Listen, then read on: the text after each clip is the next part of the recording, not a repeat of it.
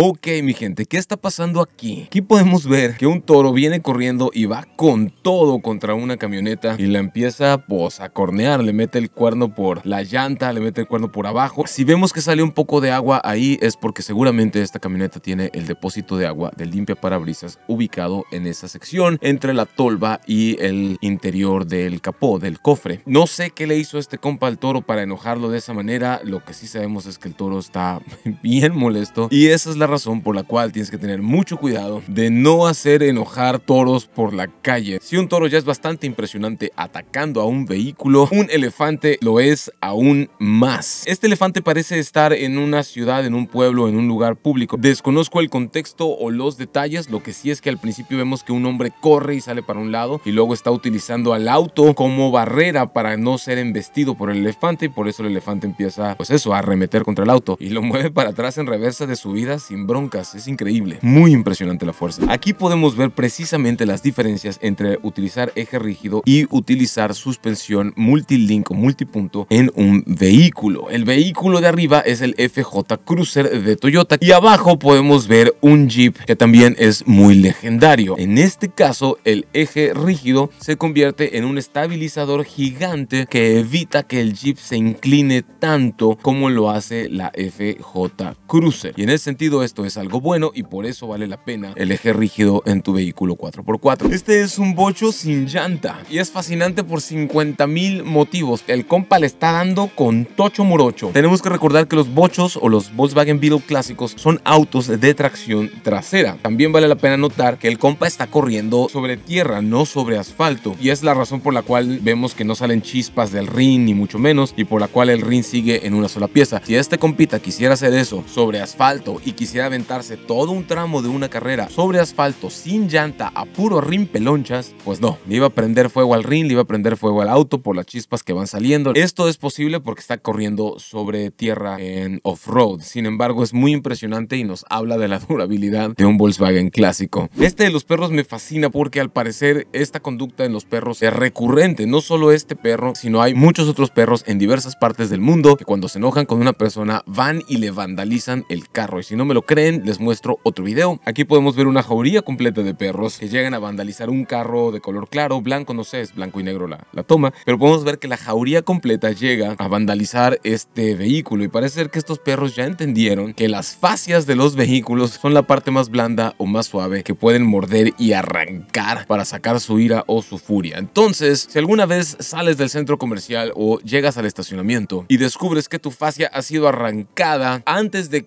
culpar a un ser humano, pide ver el video de las cámaras de seguridad del lugar porque chances hay de que una jauría de perros te lo haya vandalizado por más absurdo que parezca. Este video nos hace preguntarnos por qué rayos estamos casados con la idea de que los vehículos solo pueden ser piloteados o conducidos con un volante, con un timón. ¿Por qué tiene que ser una cosa circular en medio de tus dos manos la que mueve un vehículo? Este video es la prueba perfecta de que no tiene que ser así. Este es un Ferrari, obviamente este sistema de manejo mediante un joystick. Es un sistema especialmente fabricado por Paravan GmbH, que es una compañía especializada en desarrollar sistemas de conducción mediante funcionamientos electrónicos o mediante cables electrónicos en vez de conexiones físicas. Este sistema también es buenísimo porque le ayuda a las personas con una discapacidad a poder ser autónomos, a poder moverse y conducir un vehículo por su cuenta, aunque el vehículo sea un Ferrari, no importa. Lo cual me parece fascinantemente positivo porque el mundo lo que necesita es inclusión y ayudarnos a que más personas puedan disfrutar de lo que para otros son placeres sencillos como conducir es algo bueno. Este compa está bajando la caja, la tapa de la batea y miren esto. Échate esa, brother. La calavera, la luz trasera se abre y nos revela un armario oculto. Si vives en países como Estados Unidos donde como civil puedes tener un arma de este calibre, ese es el lugar donde la puedes guardar. Fabricado por una compañía llamada Black Sheep Innovations GmbH y son fantásticos. Chequen su sitio web, vale muy bien la pena. Esta es una Ford F-150, una Ford Lobo, la conocemos aquí en México. Pero miren esto, el costado entero se levanta para liberar espacios de carga donde puedes guardar todo tipo de cosas, acomodar tus herramientas, tiene incluso varios cajoncitos. Si te gusta echar talacha, mi gente, esto está de 11. Por si eso fuera poco, también la defensa trasera la puedes jalar y hay hay un cajón con una bahía de carga donde puedes meter tus herramientas neumáticas, tus herramientas eléctricas, si estás haciendo soldadura o cualquier otra cosa que quieras poner ahí. Es fascinante lo que estos compas hicieron con la Ford F-150, muy ingenioso. Si quieren ver más de esta camioneta y más creaciones de Brad de Berti, entren al canal de Brad de Berti, así se llama. Se los dejo aquí en pantalla, vayan y búsquenlo porque vale la pena que chequen sus creaciones. Pero tengo que reconocer que para mí el más impresionante video de un animal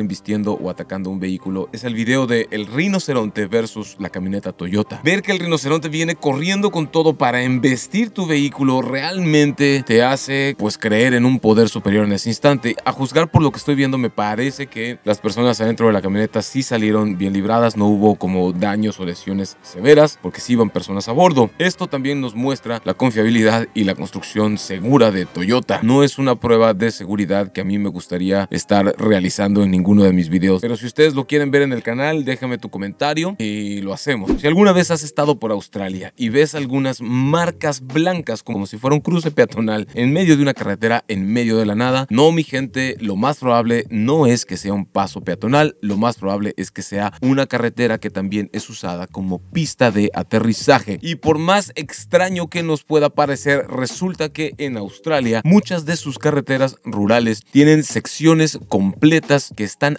habilitadas para poder funcionar como pistas de aterrizaje, ya que Australia es un país tan pero gigantescamente enorme que para llegar a las regiones más remotas en caso de emergencias, la única manera de hacerlo rápidamente es vía aérea. Obviamente los aviones que aterrizan ahí no lo hacen cuando hay vehículos. Y como cereza del pastel, si alguna vez te has preguntado dónde se encuentra la recta carretera más larga del mundo, la respuesta es en México. Bueno, no, tristemente En México se encuentra la segunda recta carretera más larga del mundo, en Baja California Sur, México, con una longitud de 169 kilómetros, ya sea de aburrimiento total si conduces dentro de los límites de velocidad establecidos o de pura diversión si estás a bordo de un Bugatti Chiron. Pero la realidad es que la recta carretera más larga del mundo, sin ningún tipo de curva, por más ligera o pequeña que pudiera llegar a ser, encuentra en Arabia Saudita. Esta recta en Arabia Saudita mide 235 kilómetros ininterrumpidos de camino asfaltado perfectamente derecho. Obviamente en México, si no quieres viajar a la Baja California Sur para probar tu superauto en una super recta, también puedes visitar las autopistas del desierto de Sonora o la que se encuentra entre Fresnillo y Saltillo, que tiene también unos tramos rectos como de 90 a 100 kilómetros ininterrumpidos, donde decía un compa trailero que te puedes echar una siestita bien a gusto. Espero que cuando me lo dijo